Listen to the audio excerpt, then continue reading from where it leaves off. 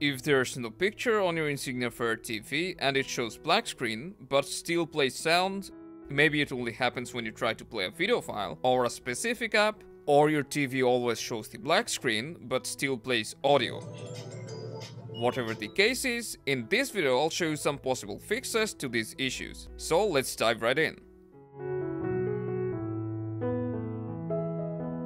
If your Insignia Fire TV's screen goes black only when using a specific app, then first you can try clearing the cache of that app. So from the home screen we'll need to go to settings, then go to applications, select manage installed apps, and from the list select the app that's showing black screen, select clear cache, and then try launching the app again. If that didn't fix it, then we'll come back here and select uninstall.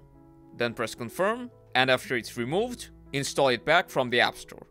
But in your case, if you're having this issue while trying to play a video file from an external drive and it only plays audio but the screen remains black, then it's caused by an incompatible file format. In that case, you can try converting the file or just download a different media player from the App Store.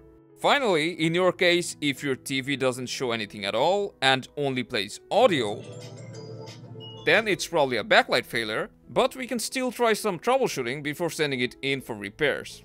We'll start by cold booting your TV. You just need to unplug the power cable and wait for around 5 minutes. And while you're waiting, make sure that the power cord is not damaged or dirty, and if it's possible to change the cable, then try a different one. Also, if you're using an extension cord or a surge protector, then consider plugging it directly into a wall outlet. And if it's already plugged into a wall outlet, try a different one. And after 5 minutes have passed, turn your TV back and see if it's fixed. If not, then we'll unplug all the HDMI devices that's connected to our TV and reboot our TV again. But if you still can't see anything, even the startup logo, then it's probably a backlight issue and your TV will need repairs. Hopefully this has helped you solve your problem, let us know your feedback down below and I'll see you later.